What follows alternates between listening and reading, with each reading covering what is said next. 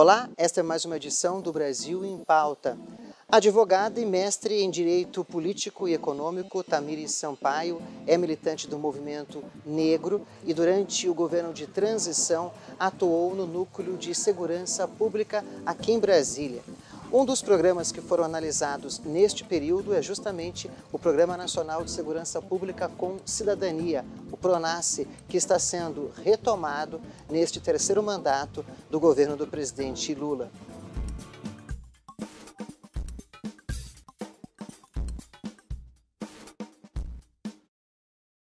Muito obrigado pela participação aqui no Brasil em Pauta, Tamires. Eu que agradeço, Fala, um prazer estar aqui com você. Tamires, é, como é que é a expectativa em relação a essa retomada do, do Pronace?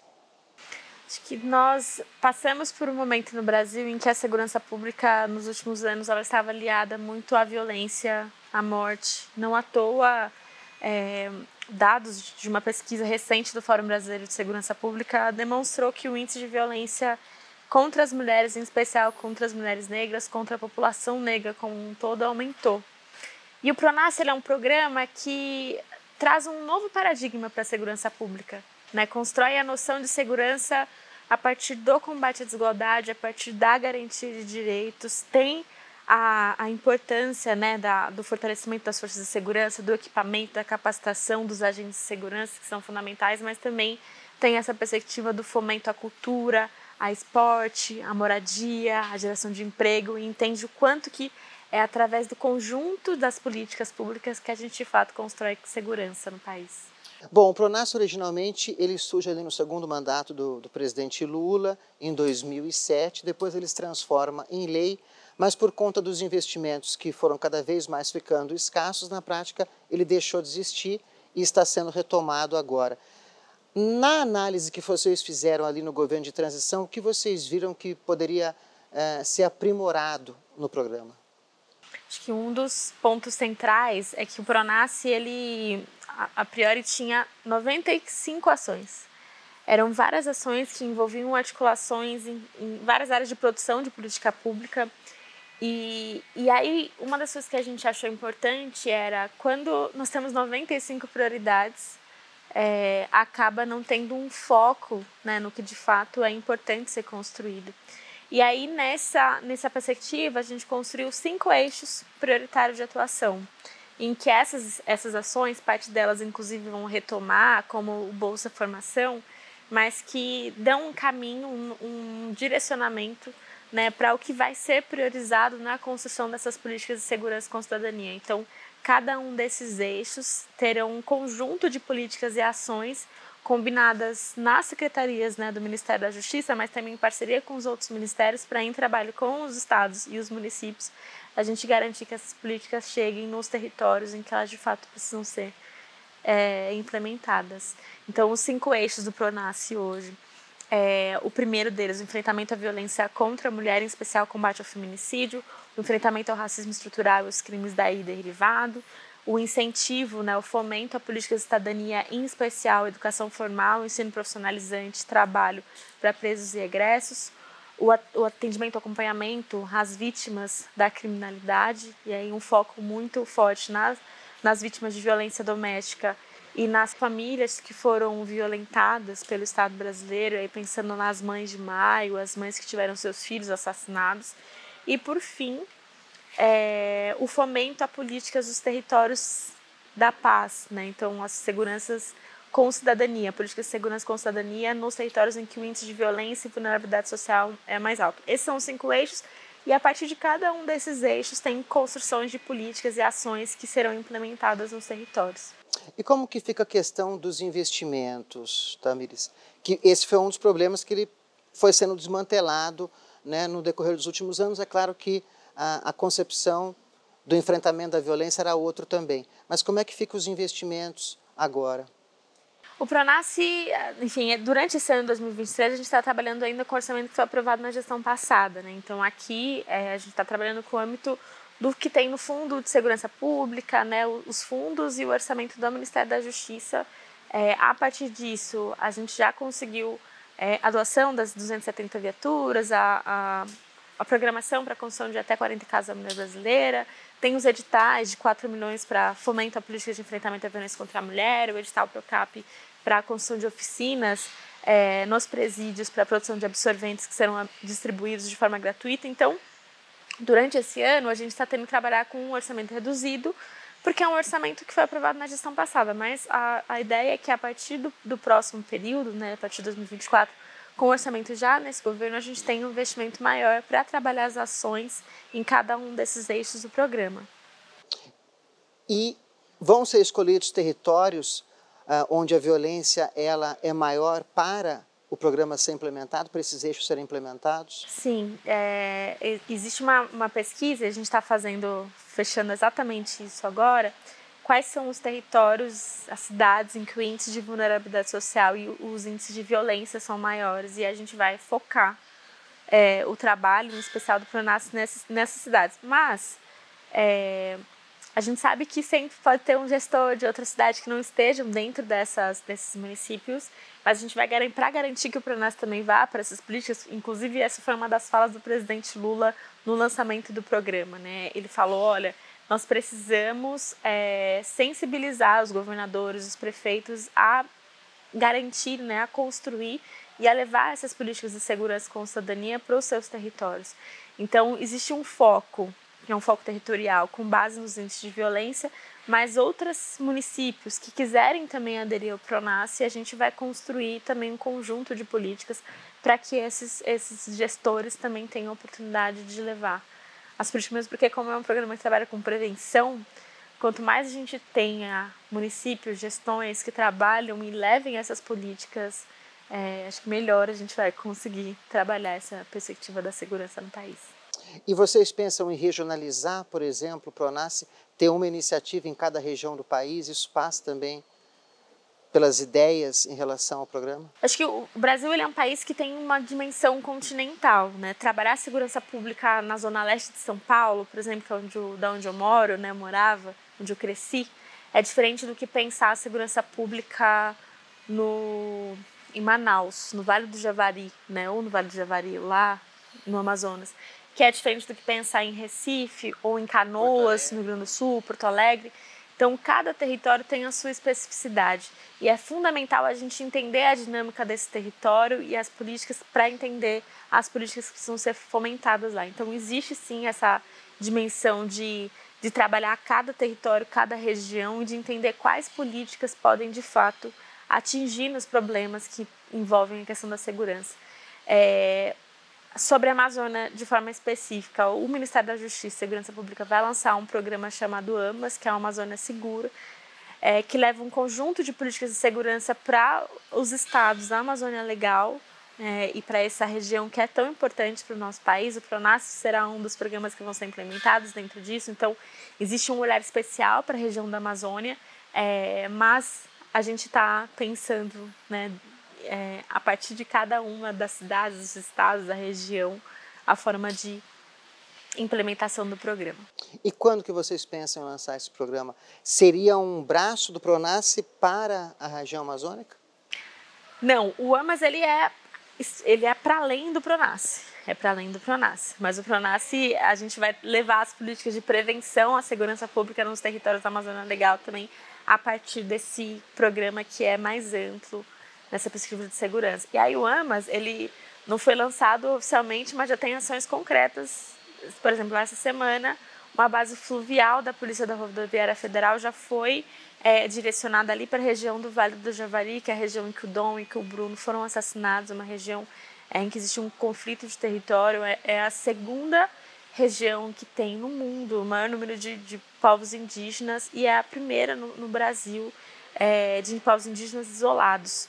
Né? Então, a gente está vendo a tragédia Yanomami, mas a região ali do, do Vale do Javari é uma região em que nós precisamos também garantir políticas públicas de segurança. Teve uma comitiva do governo federal liderada pelo Ministério dos Povos Indígenas que foi, eu estive lá junto com o secretário nacional de segurança pública, Tadeu Alencar, é, e aí a partir dessa, dessa visita a gente também anunciou algumas medidas na área de segurança pública e justiça que são focadas para esse território. A gente está no mês internacional das mulheres e um dos eixos do Pronas é justamente reduzir o número de feminicídios no país. Vocês vão trabalhar com metas quantificáveis? Isso daí vai ser a cada ano visto? Como é que vocês estão pensando em, em trabalhar com essa questão específica? Como você falou, é uma questão que aumentou nos últimos anos. Né? Sim, o, o Pronace é um programa que a gente tá, tem trabalhado com as metas do Plano Nacional de Segurança Pública. Né? Nós temos um Plano Nacional de Segurança Pública que determina algumas ações concretas, ações estratégicas e metas. É, uma delas está relacionada à diminuição e ao enfrentamento à violência contra a mulher, a redução do feminicídio. É, e, e, nós estamos trabalhando a partir disso, para ter uma conexão né, das políticas, né, do Plano Nacional de Segurança com o Programa Nacional de Segurança com Cidadania, é, com base no, nas, nos indicadores né, e nos critérios para a distribuição do fundo.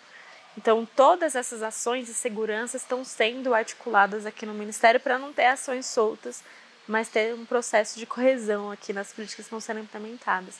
E o foco, né, desculpa, mas o foco nosso central é a redução do feminicídios. É, como eu comentei da pesquisa, a cada seis horas uma mulher é assassinada no Brasil.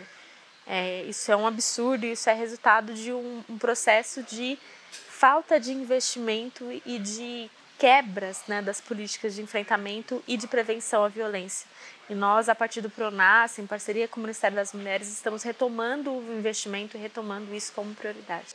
Tamires, a gente vai para um rápido intervalo, mas já queria deixar uma questão para você responder na retomada do segundo bloco, que é a questão da cidadania, que é uma palavra-chave no PRONAS. Como é que ela vai ser trabalhada, considerando todos esses aspectos ligados à segurança pública? O Brasil em Pauta está entrevistando Tamires Sampaio, ela é coordenadora do Programa Nacional de Segurança Pública com Cidadania, o PRONAS. Vamos para um rápido intervalo e voltamos em instantes.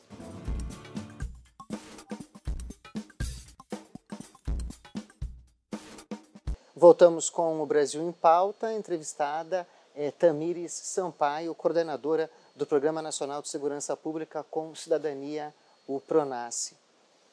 Cidadania, como é que entra nessa história, Tamires?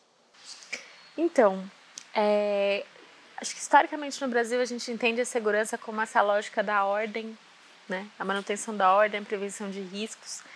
E o Pronas ele traz uma dimensão da segurança de que se a gente pode ter viaturas em todas as ruas do nosso país, ampliar o efetivo policial em todas as cidades, é, mas armar toda a população. Combater a violência com mais violência. Não é combater a violência com mais violência, mas se as pessoas continuarem desempregadas, se elas não, tivessem se não tiverem acesso à alimentação saudável todos os dias, se não tiverem acesso à educação, à cultura, esporte, lazer, à mobilidade, se os direitos e garantias fundamentais delas não tiverem de fato sendo cumpridos, se elas não tiverem acesso à cidadania plena, de fato, a gente vai continuar com um problema de insegurança no país. Então, entender a segurança com cidadania é entender que a segurança pública ela é construída com base nas forças de segurança e no fortalecimento delas, mas também através da garantia de direitos, através do acesso às políticas públicas, através do Estado brasileiro chegar nas periferias, não só por meio da força, mas também por meio é, dos projetos sociais, por meio da educação, por meio da saúde, por meio da moradia, do saneamento básico. Isso também faz parte da segurança pública. Isso é entender a segurança com cidadania. É por isso que o Pronas vai, ele vai ter, então, essa integração de diversos ministérios e órgãos do governo federal. Exatamente, exatamente. Cada um desses eixos é, articula políticas que passam não só pelo Ministério da Justiça e Segurança Pública, que é da onde sai o programa, mas também pelas outras áreas, né, pelo desenvolvimento social e combate à fome, pelo Ministério das Mulheres, de Igualdade Racial, dos povos indígenas, do meio ambiente, da educação, da cultura, do esporte, porque cada um desses ministérios promovem políticas públicas que precisam chegar nos territórios que são mais vulneráveis no nosso país, nos territórios em que o índice de vulnerabilidade social e de violência tem aumentado. E é através da garantia né, de chegar essas políticas nesses territórios que a gente consegue é, trabalhar né, o problema da segurança. Agora, você falou um pouquinho dessa questão de que a violência não se manifesta da mesma forma em diferentes partes do país, realmente não. Agora, as forças de segurança também não agem da mesma forma em diferentes partes do país ou numa mesma cidade, como, por exemplo, São Paulo. Ela vai agir de uma forma num bairro rico e vai agir de outra forma na periferia da cidade. E o movimento negro trabalha muito com essa questão dos autos de resistência, que é uma forma, é um instrumento jurídico da polícia, ela, é, de uma certa forma, justificar ali a morte de negros e negras no Brasil, e são milhares a cada ano. Eu pergunto isso para colocar a questão se o Pronace vai trabalhar de alguma forma com cursos de capacitação em direitos humanos, junto às forças de segurança, essa questão da cidadania, para essas informações também chegarem a essas pessoas. Sim, com certeza. inclusive, o decreto que retoma o Pronace e traz os cinco eixos também traz a retomada do Bolsa Formação, é, que vai ser trabalhado de uma forma diferente do que foi no Pronace 1, né, no, na primeira execução do programa, a gente vai ter focos, eixos de atuação e eixos que estão ligados às prioridades do Pronas e, e provavelmente uma das primeiras delas que a gente vai anunciar nas próximas semanas é a capacitação para os agentes de segurança que trabalham com o enfrentamento à violência contra a mulher. Então, pensar formações de cidadania, do enfrentamento à violência contra a mulher, do combate ao racismo estrutural, é, são, são módulos de formações que a gente está aqui no âmbito do Ministério da Justiça e Segurança, através da Diretoria de Ensino e Pesquisa, juntamente com a diretoria do SUSP, né, Michelle e Isabel, para a formulação desses cursos. Então, a formação, a capacitação, a sensibilização desses agentes é uma das prioridades do programa. E o combate ao racismo estrutural também?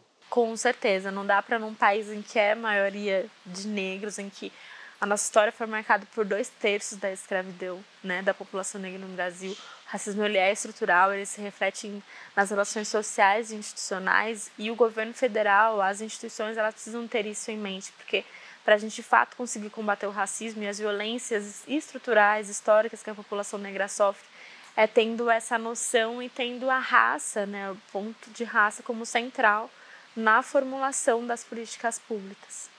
Agora, você falou que né, nas próximas semanas o Ministério da Justiça e Segurança Pública deve anunciar esses cursos de formação para os profissionais ligados à questão da mulher. Dá para você adiantar alguma coisa para a gente? Como é que vai ser isso? Não, o que eu posso adiantar é o que já está publicado, inclusive no decreto. Assim, ó, o Bolsa Formação vai trabalhar agora com uma formação é, a partir desses módulos, né, ampliou. Antes a formação era de 4, até 450, agora é de 900 reais para cada um desses agentes que fazem o curso durante né, a, a, a, formação, durante esses cursos que estão sendo feitos. E a ideia é que tenha um incentivo para que todos os anos, né, que seja uma educação continuada, não é só eu faço o curso uma vez e acabou, né? Todo, cada ano sempre tem uma atualização, sempre tem um processo de renovação. E a questão do trabalho com os egressos do sistema prisional? Eu vi que também este é um dos eixos do Pronas. E essa é uma questão dramática, né? Quer dizer, essas pessoas acabam voltando ao crime e geralmente são jovens, negros, homens que poderiam estar na força de trabalho e no mercado de trabalho. Como é que vocês querem trabalhar com essa questão no Pronas? Tem duas ações que já estão acontecendo, que são projetos que a gente tem piloto aqui, inclusive na região de Brasília. É, um é o Reintegro, que é um programa que já está agora atendendo 45 pessoas em situação de privação de, de liberdade, que tem um processo de capacitação profissional, ensino profissionalizante, tem uma oficina que hoje eles têm nessa oficina uma, uma gráfica em que eles fazem produção de canecas de, e, e fazem na, no diálogo né, com o bairro.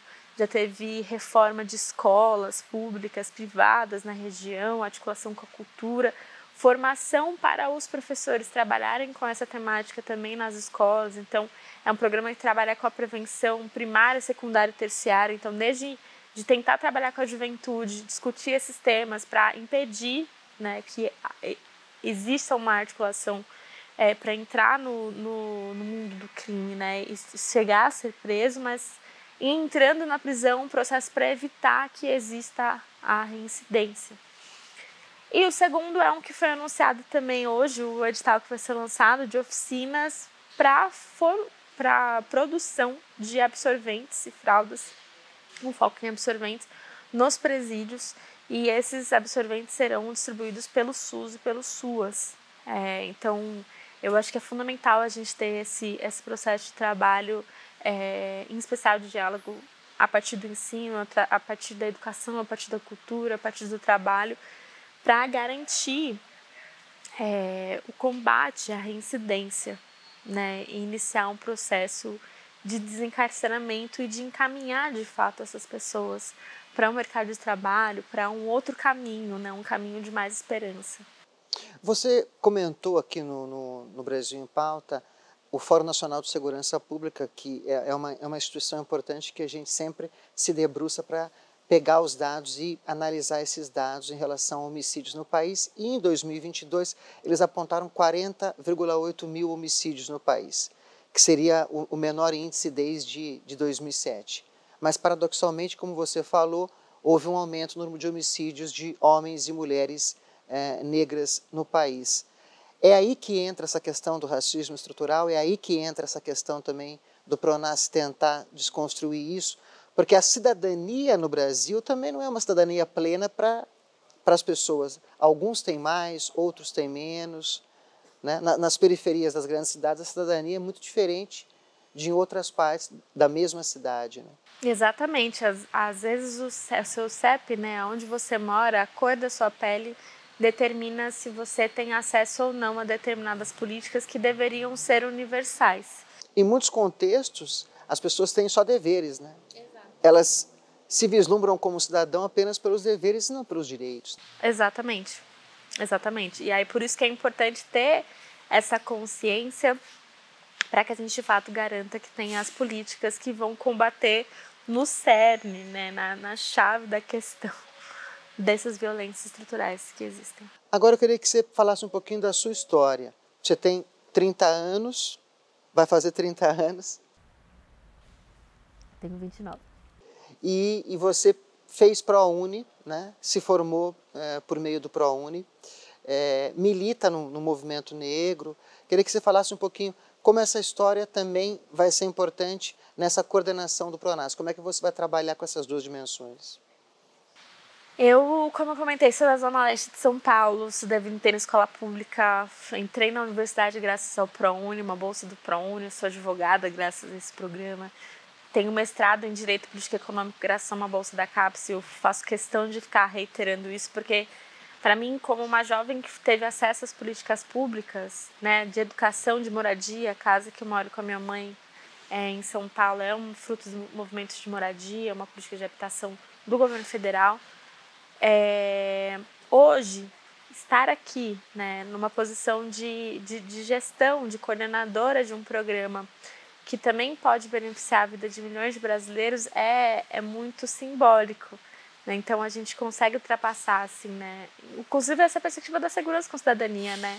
É, da onde eu vinha, a minha cor de pele, é, ela poderia determinar que eu fosse mais uma estatística né? E conseguir fugir da estatística graças à luta dos meus ancestrais, graças à luta do movimento negro, graças à luta, né, é, de, de milhares de pessoas que fizeram com que essas políticas pudessem existir, mas também graças a hoje a gente tem um governo que tem na prioridade, né, da formulação das políticas o combate às desigualdades. Então, essa trajetória né, da academia, né, da, de estudar sobre segurança na graduação, mas também da luta contra o genocídio do movimento, né, que é uma luta do movimento negro, uma luta contra o genocídio do povo negro, elas forjaram essa pessoa que eu sou hoje e elas me dão esse norte para a condução desse programa.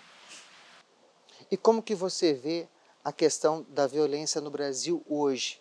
O feminicídio e a questão do combate à violência contra a mulher é uma das prioridades do PRONAS, tem esses outros quatro eixos. É um desafio, é uma missão. Os próximos quatro anos aí vão ser anos de bastante aprendizado e trabalho? Com certeza, com certeza. A gente quer terminar esses os, né, os quatro anos de governo com a notícia de que o índice de violência diminuiu, de que a gente conseguiu trabalhar essa noção das políticas de segurança com cidadania no país. E a violência também é uma questão difusa, né? Não é uma questão simples, né? Você, ela é meio translúcida, quer dizer, você está em um ambiente que, né, pode ser um ambiente em que você tem essa interface entre a criminalidade, a, a não criminalidade, quer dizer, não é também um, um, um local fácil de você focar e de você ter resultados. Né? Não, exatamente. E é por isso a, da complexidade né, desse, desse programa, assim, né, do trabalho e da articulação com as outras áreas e da noção de que não é só através do fortalecimento das instituições de segurança apenas que a gente consegue garantir da segurança para a população, apenas da repressão, apenas da violência. Não. Nós precisamos garantir que o Estado brasileiro, através das outras áreas que são fundamentais, a educação, a cultura, a moradia, o emprego, a alimentação. Para a redução da desigualdade econômica e social, essa é central. Né? Geração de emprego, distribuição de renda, isso é fundamental para o combate à violência no Brasil. Tamires, muito obrigado pela entrevista aqui no Brasil em Pauta. Um tema complexo que envolve né, várias questões.